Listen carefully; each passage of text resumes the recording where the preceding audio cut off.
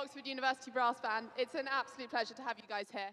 Not sure I can quite say the same for Matt's descant. I can tell you, wasn't the best. Stick to bass next time. Thanks, Kezia. It's a treat this year to be able to have the newly formed OICCU band performing to, for us. So I'm going to invite them up to the stage and sit back and listen to their performance of Oh Holy Night.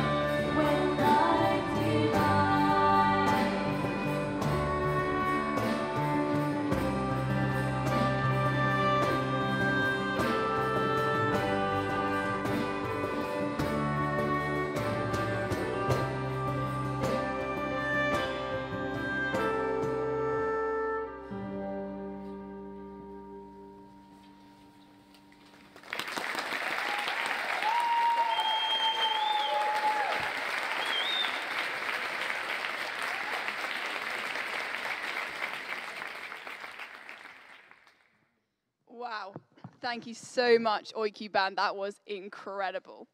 We're now going to have our first reading, which is from the Bible. It's from a book called Matthew, which is one of the historical accounts of Jesus' life, and you'll find the words in your program if you'd like to follow along. So this is Matthew chapter 1, verses 18 to 25. This is how the birth of Jesus the Messiah came about. His mother Mary was pledged to be married to Joseph, but before they came together, she was found to be pregnant through the Holy Spirit. Because Joseph, her husband, was faithful to the law and yet did not want to expose her to public disgrace, he had in mind to divorce her quietly. But after he had considered this, an angel of the Lord appeared to him in a dream and said, Joseph, son of David, do not be afraid to take Mary home as your wife, because what is conceived in her is from the Holy Spirit. She will give birth to a son, and you are to give him the name Jesus, because he will save his people from their sins. All this took place to fulfill what the Lord had said through the prophet The virgin will conceive and give birth to a son, and they will call him Emmanuel, which means God with us.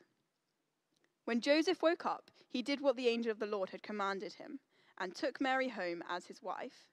But he did not consummate their marriage until she gave birth to a son, and he gave him the name Jesus.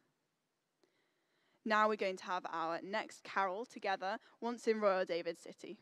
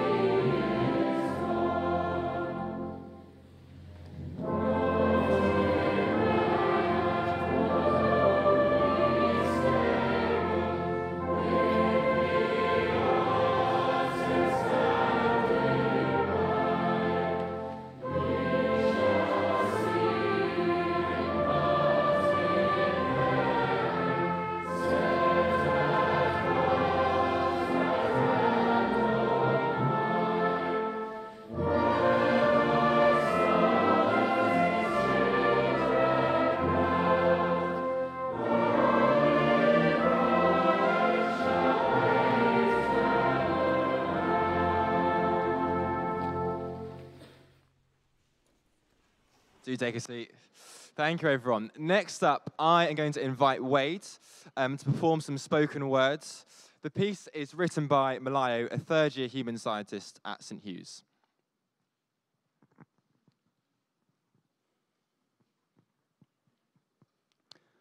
His name was Adam, her name was Eve, and into them the light of life God breathed.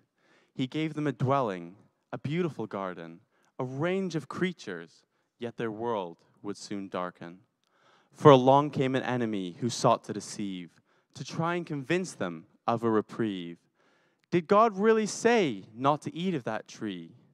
Eat, enjoy, be whole, be free.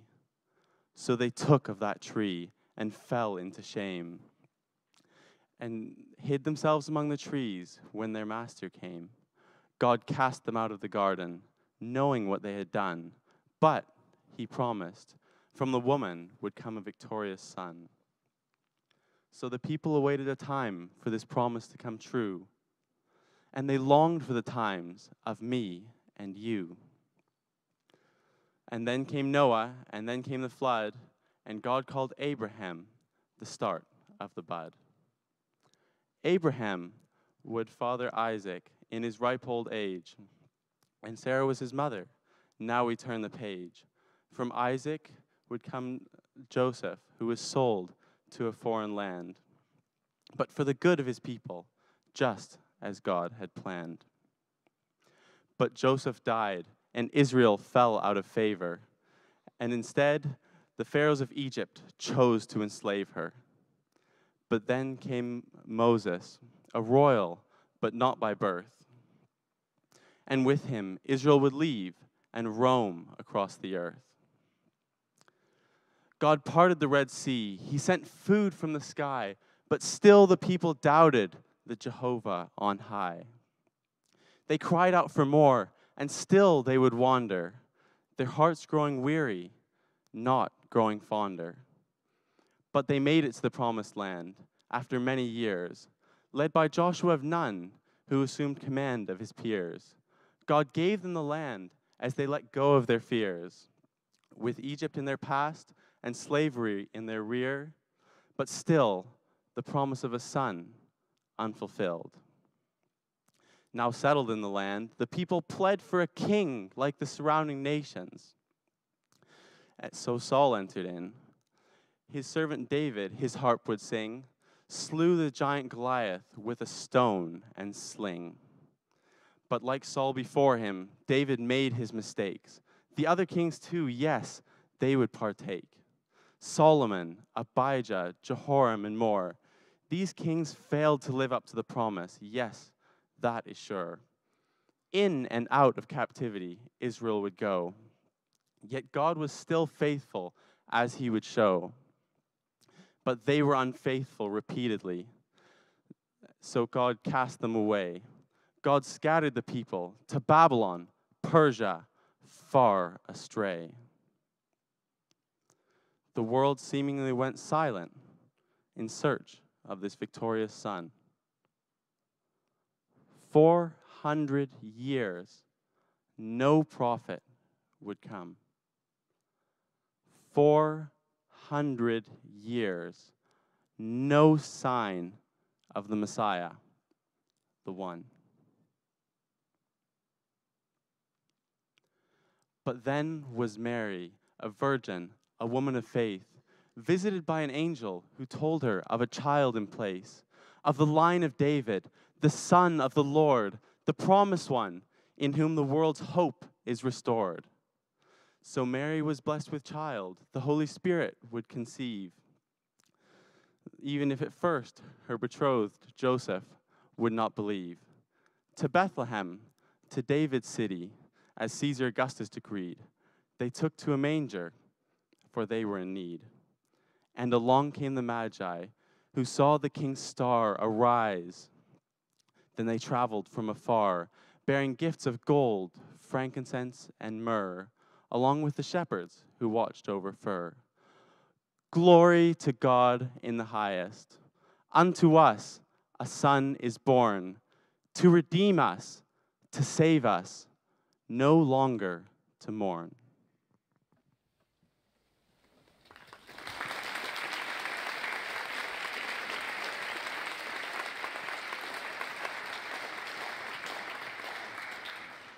Thank you so much, Wade, for that performance. Really beautiful. And what a memory. We're really lucky to have Rico Tice speak for us um, tonight. So I'm going to invite him up now, um, and we're going to interview him so we can get to know him a bit better. Rico Tice, bit of a weird name. Anything to say for yourself? Yeah, it's a stupid name. It's not my fault. It's my parents' fault. So I was born in Chile in South America. My dad grew tobacco there. I'm English by background. so I was christened Richard, but that's Ric- Ri- Ricardo in Spanish. So shortened to Rico. So it is Rico Tice. Just to say, it's not Tico Rice. I spent my life being called Tico Rice, which sounds like number 42 at the takeaway, doesn't it? At school, I was called Rico Strico, which had nothing to do with my behavior. I was very modest. But anyway, there we go. That's great, thank you. And so, Rico, where are you from? Any family back home? Yeah, I'm from central London. I, I live there. I'm married to Lucy. I've got three kids. Peter is 12, Daniel is 10, and Mercy is, is 6.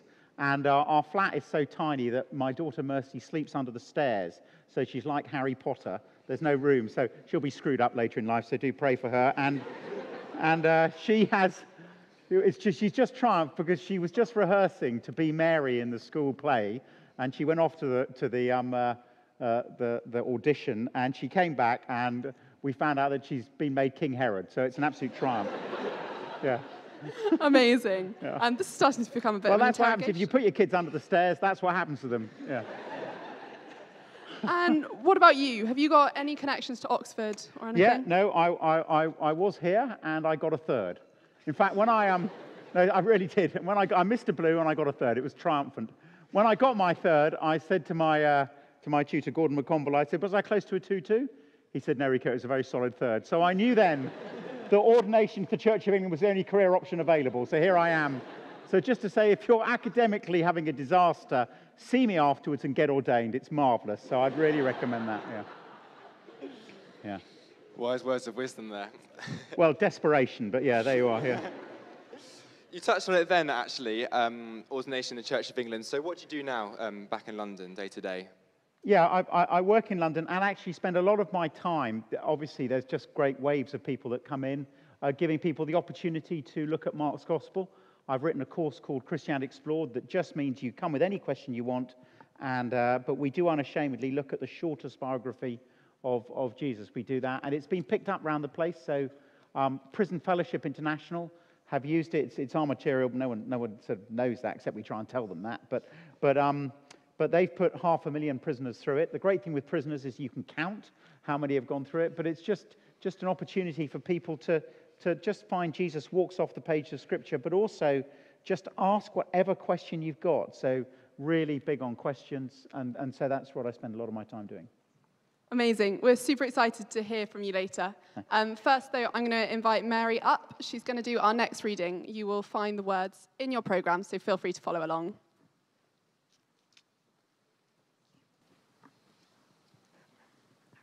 Our next Bible reading is from the book of Luke, chapter 2, verses 1 to 12.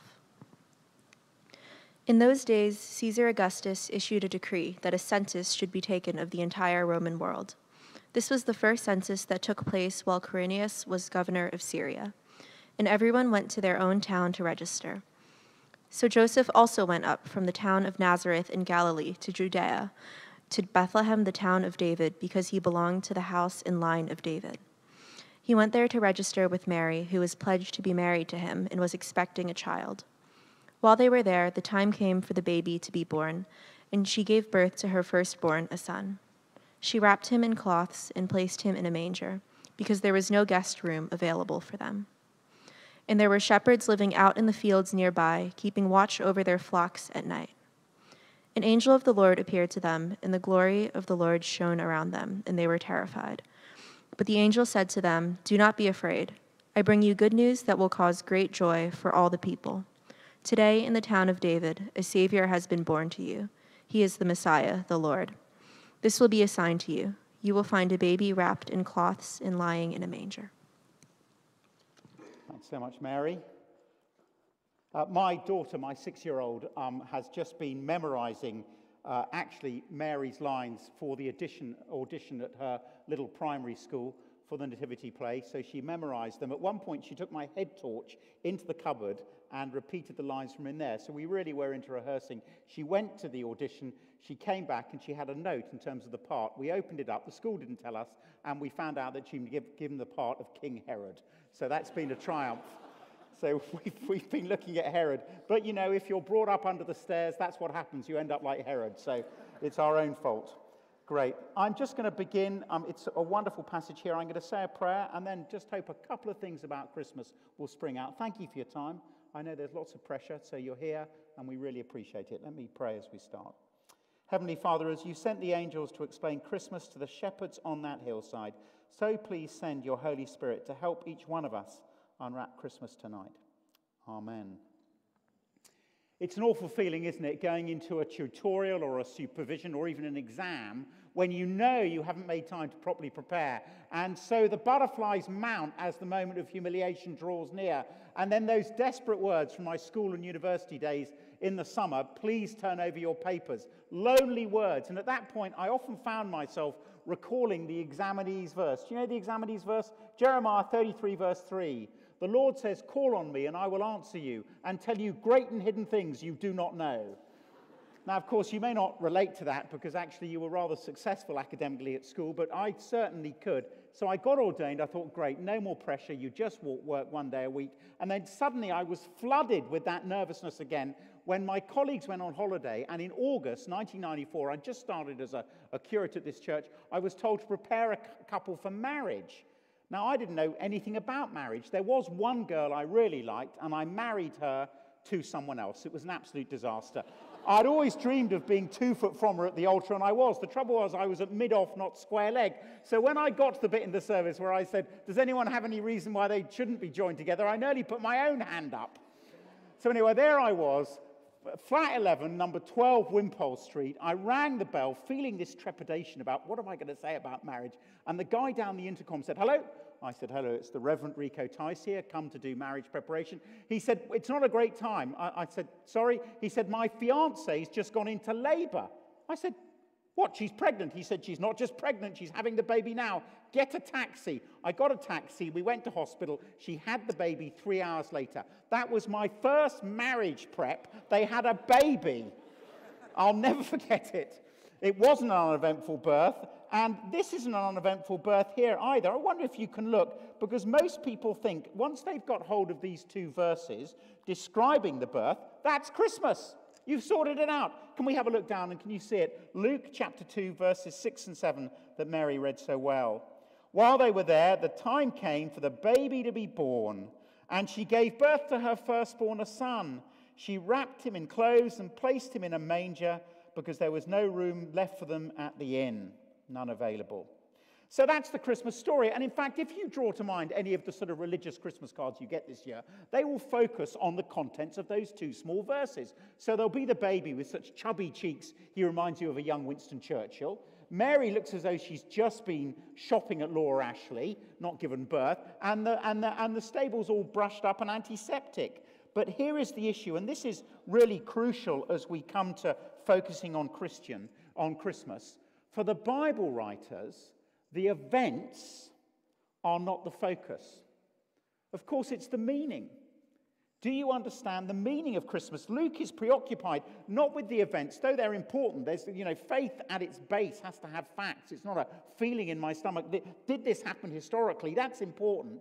But the question is, have you got the meaning? He gives two chapters, in fact, his whole book to the meaning. So here's the question Do you understand the meaning of, of Christmas? Well, wonderfully, in this little passage here in verse 10, there is an exam. I didn't think you thought you were coming to a test, but here's a little Christmas test. This is whether you've got the meaning of Christmas. Can you see verse 10 as we look down? Here's the Christmas exam. But the angel said to them, Do not be afraid. I bring you good news that will cause great joy for all the people. Now, you understand Christmas, actually, you understand Christianity if and only if it's the best news you've ever heard in your life. So, is Christ coming at Christmas the best news you've ever heard in your life? If it's not, you can be sure, you can be certain you've misunderstood it. Uh, one of my favourite places in London is the ice cream bar at Harrods, which is why I'm such a fat old boy. But I was there recently. It was a pastoral visit. It was crucial I was there. And I picked up this brochure from Harrods a couple of years ago. And this is what it said the catalogue. Rejoice, Christmas is coming to Harrods, joyful and triumphant, in a blaze of celestial splendor. This year, Harrods is brimming full of comfort and joy, overflowing with grandeur and gifts. Let the glory of Christmas ring out. So, as we read that, can I ask, where are you? Are you with Luke? It's the best news you can ever hear in your life. Or are you with Harrods? Sort of, it's this mixture of trees, turkey, tinsel, and tradition. And of course, the next question is why? Why is it such great news to be Christian at Christmas? What's the reason? Why is that? Where does the joy come from? Well, again, if we look down, verse 11 gives us that. So do come back and ask questions about this. But here's the heart of it. The angel says, utterly supernatural, today in the town of David, a Savior has been born to you. Here's the Messiah, the Lord. Christians celebrate Christmas because it marks the start of a great rescue operation. So, can I ask, when you see the trees and the tinsel, when you see the presents under the tree, do you fundamentally go, ah, this is about rescue? If you don't, you've not understood it. Christians go nuts about Christmas because it's about a deliverer who's Christ the Lord. Now, at this point in time, I think you'd go, Well, Rico, you know, I don't mean to be rude because you've got a third and I'm not going to get a third. But you, you go, Look, Rico, I, you know, I'm not trying to be sort of cocky about this, but, but I don't need rescue. In fact, you know, I spend quite a lot of my time rescuing other people. I don't mean to be rude, but I'm, you know, I'm, I'm, I'm actually quite self sufficient, quite self reliant, and I've got a resilience. You know, I've read my Longfellow. The heights by great men reached and kept were not attained by sudden flight, but they, while their contemporaries slept, labored upward in the night. I, you know, I'm not bad at rescuing myself. But can I say, when it comes to Christmas and this whole thing, it's easy to be deceived. When I was here, I didn't do great academically, but I learned one or two skills. This is something I learned in the rugby club. Actually, that has slightly done me in there. It's a crushable can. I wonder if you can see it. So I've got the most beaten up car in central London. It's a Ford Fiesta 1.1. I drive through the middle of London. I stop at the lights. Someone incredibly glamorous comes alongside uh, with another person. There they are in, that, in their car. They look disparagingly across at me in my car. I look back at them, crushes on my head, and as we drive off, I've won. So this saves me about 150,000 quid. You should see their faces, particularly if you've got a dog collar on. It is easy to deceive people. And when it comes to this whole thing about rescue and Christmas and the Christian faith going on about that, it's easy to be deceived and believe the great lie that I can live well, yet push my Creator to the footnote, to the suburbs of my life. Now, I never really thought about uh, what was wrong with me until when I was uh, uh, 16 at school, I decided to keep a diary. Here it is. I'd never let any of you near it. And actually, in this diary here, what I found is I kept it. And just to say, I kept it because I thought I owed it to you, to future generations, to record my life. So I did it for you. That's why I recorded it. And night after night, I kept this diary. And I found out I was a total prat. It was amazing. So as I kept this diary, I'd write in my diary, wouldn't it be wonderful if there was world peace? But I'd never lay aside the weapons of malice and sarcasm in my own self defense. I'd write, wouldn't it be great if the starving were fed? But, I, but I'd ask my parents for a larger allowance. As you can see, I would eat it. And as I kept this diary, I found there was something profoundly wrong.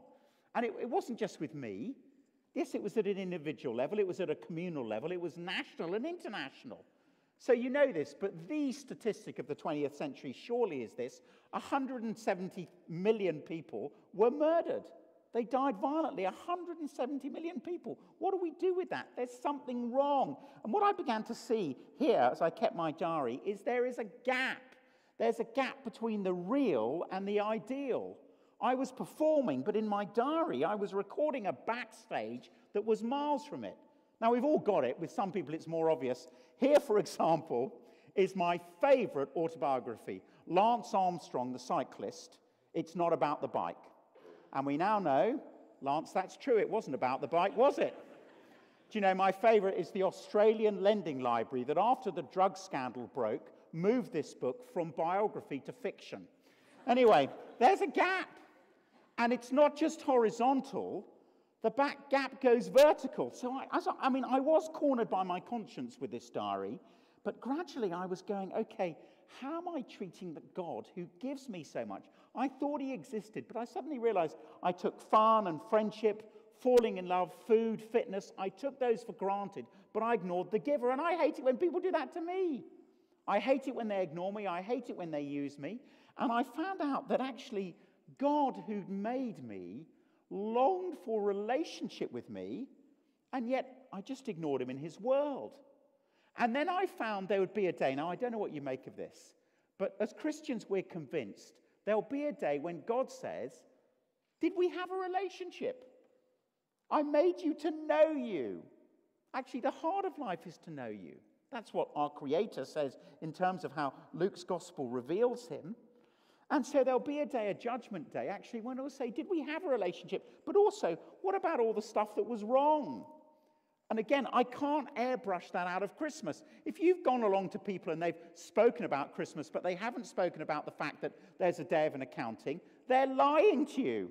I hate it when people do that to me, when they, when they don't give me the right information so I can't make a decision. And just to say, there is a judgment day in the Bible. And again, I want to advance over that line as I say that to you and say, that's brilliant. Because it means how I treat you, how you treat me, how we treat the world matters to God. I was reading The Week this week, and it told me in here that six and a half thousand workers died making the infrastructure that created the World Cup. Well, what about those people? And do their lives matter? Well, the Bible says they do, that there's a day of accounting. So the next question is this when I hold my diary is who's going to pay? Because God will say, well, what about all these times you slapped me in the face? Who's going to pay? And amazingly, as we had in our first reading, as the angel comes to Joseph in a dream, the angel says, She'll give birth to a son. You're to give him the name Jesus because he'll save his people from their sins. In fact, as Jesus gets born, he's born to die. That's the heart of Christmas. So 33 years later, he's going to be strung up on a cross, and on the cross, he's going to shout out, Tetelestai. Now, this gets very personal. Because I don't just see as I see the cross some Galilean carpenter dying. The Christian, as they see the cross, and yeah, I think you could feel it in the Oh Holy Night song, the Christian goes, No, no, no, he's dying for me in my place for my wrongdoing. So it's as though here I am, here's my wrongdoing, here's Jesus dying on the cross. The Bible says, All we like sheep have gone astray, each has gone his own way. The Lord has laid on him the wrongdoing of us all. So the deliverer is the one who says, Rico, I think I better pay for this for you. I'll pay for your wrongdoing. Now, if you believe that, can I tell you, and it sinks into your identity, it is the most amazing liberty because he knows all about me and he loves me anyway. It's just a staggering thing. A number of years ago, I was on my day off at home and uh, I was teaching my nephews to play rugby. They were two and four, but you've got to start them young. And I was down with the four year old called Dalton, scrummaging. It's a stupid name, but anyway, he's a nice kid. Sorry, if you're Dalton, welcome. It's lovely to have you here this evening. But I was scrummaging with him, and as I was scrummaging with him, the, the two year old Patrick picked up a plant pot and he started to empty it all over my parents' lounge floor to make a pitch. And I'm not kidding, when I next looked up, he had trashed the floor. Absolutely trashed it. There was just mud everywhere. At that point, my mother walked in and she walked over to this little two year old. She picked up the plant pot, she put it on one side, she picked him up and she kissed him. She said, Let's go and have lunch. And as she carried him out of the room, he looked over her shoulder at Dalton and I on the floor and he went, like that. His grandmother knew what he'd done. She loved him anyway. She was going to clear up the mess. And I know next term there's going to be Home, which is a series of talks about this love. Now, what would it mean to not live for approval but from it when you're loved like that? So, Patrick's granny, she knew what he'd done. She loved him anyway. She's going to clear up, clear up the mess. That is the joy of Christmas. Christ comes to forgive us. What do you make of that as I close? Uh, uh, um, oh, I guess it's 30 years ago now, I was playing rugby in Bristol against a club side called Dings Crusaders. The Dings ground was known as the killing fields. It wasn't a great place to play as a student. So we turned up, and my trepidation was massively increased when I saw my opposite number. He had a number three on his back. I knew he was opposite me, and he was built like an outside toilet. Honestly, I'm not kidding. You look at a guy like that, you think, what does his mother look like? I mean, the bloke was vast. I thought this is going to be dreadful. And I, I, walked around a bit, and he wasn't warming up at all. I walked quite a long way around. He had a tiny baby boy in his arms. I thought maybe he's not playing. Maybe his mother's playing. I didn't know. Just before kickoff, he handed the baby across. He walked onto the field. He ripped me limb from limb. It was so embarrassing. Half time, he went straight back to the baby boy. No one seemed to mind. Second half, came back on and threw me around like straw in the wind. As the final whistle went, that little baby boy was back in the man's arms. There was no question who the father was. There was no question who the son was. I'd like to have seen anyone lay a finger on that little boy. It would have been amusing to behold the result. Now, here's the issue Do you think God loved his son, Jesus Christ, any less than that man loved his little boy, yet he sends him at Christmas to die so that I can be forgiven my diary? And can I tell you, if you believe that, it tells you three things. And I close with this. Number one, it is serious the Bible says there is a day of accounting. God's going to say, Did you know me? And, and what about the wrongdoing in my world? Secondly, I must be loved. That God should send his son to die. I've got two little boys. I wouldn't let any I wouldn't, wouldn't uh, let them die for anyone. But God sends his son to die for me. And thirdly, it's a gift. And the reason we give each other gifts is to unwrap that gift. So I guess we're pleading with you take away the book, look at Jesus, unwrap the gift.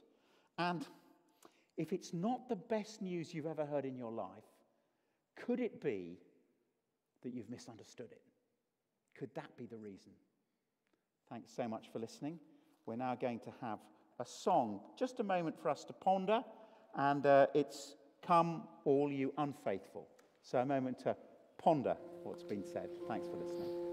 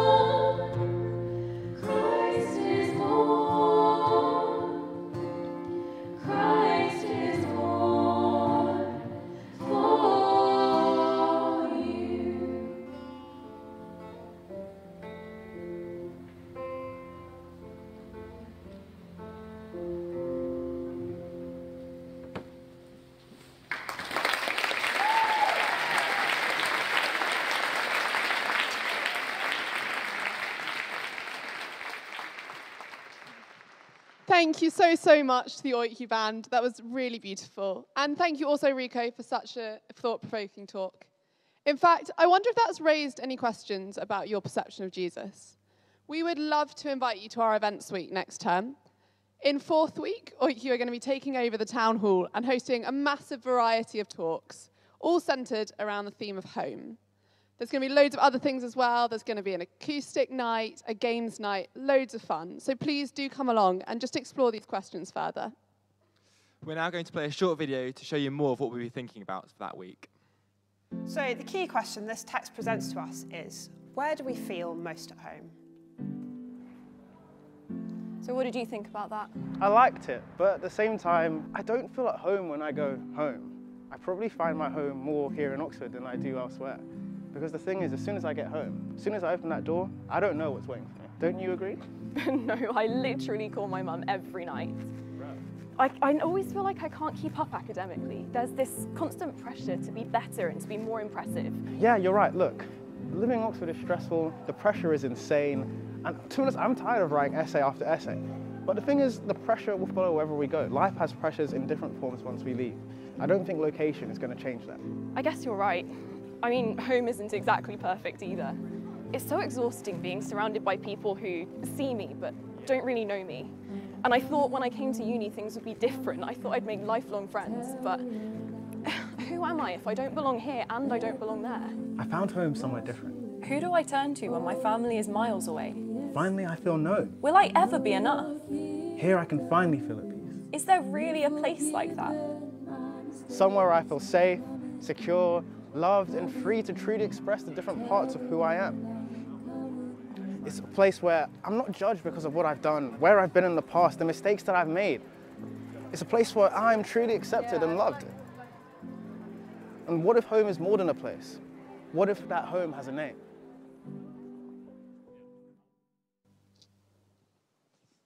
Looks exciting. Well, do make sure to keep updated um, by following our Instagram. So if you turn to the back of your bu- the booklets, you'll find our Instagram handle, which is the underscore oiccu. We'll also have a special Instagram account for Events Week, which is at home.oxford. I'm sure you won't want to miss um, our launch, ceilidh. That's on Burns Night, uh, second week, Wednesday. So exciting, so much to come. For now, though, we're reaching the end of tonight, so can I invite you to stand for our final two carols?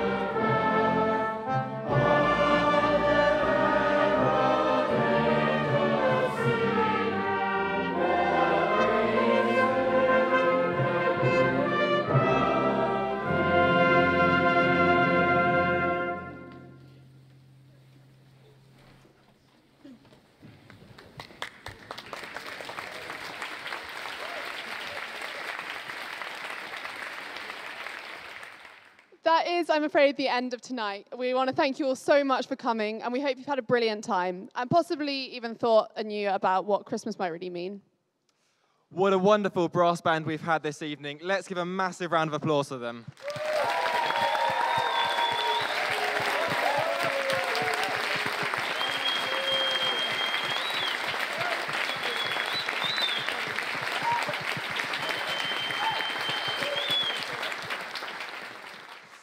And thank you to everyone else that's participated tonight for the readings, for the OICCU bands, for Wade for his spoken word, and for Rico as well for speaking.